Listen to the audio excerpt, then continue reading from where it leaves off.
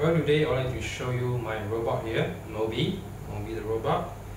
And how Mobi works is he works with a mobile device like this Android phone here that I have with me. And to simply um, activate Mobi, I would just have to plug this in the holder System activating. and Mobi would do some um, calibrative work.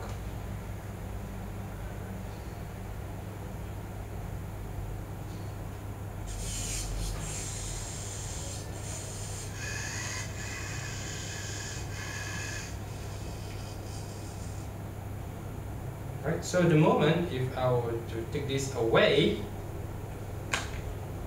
System disengaged. So you can see that basically um, Mobi works with this uh, mobile device here. And what Mobi can do also is to um, uh, move or to do some small little tasks uh, like this app I have with me here. I can simply control uh, things like this uh, gripple, um, to up down, rotation, will not move Mobi around because now also to control some of our household and appliances. So right now behind me the TV is uh, switched on. So I would uh, ask Mobi to switch off the TV. So I simply give the command through this uh, headset here.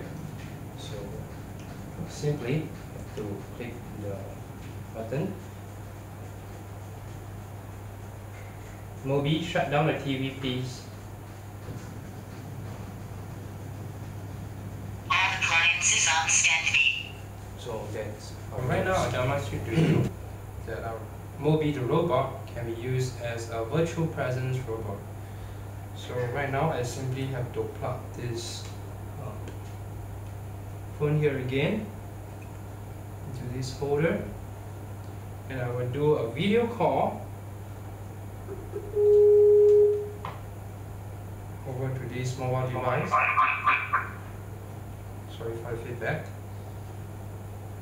Now you can see that I'm over here on the screen.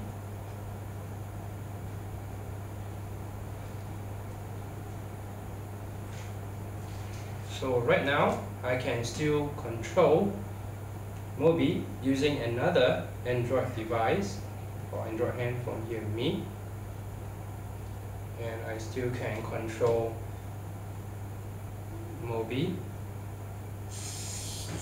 so there's a bit of uh, latency here, but um, I still can control Mobi via the 3G uh, network.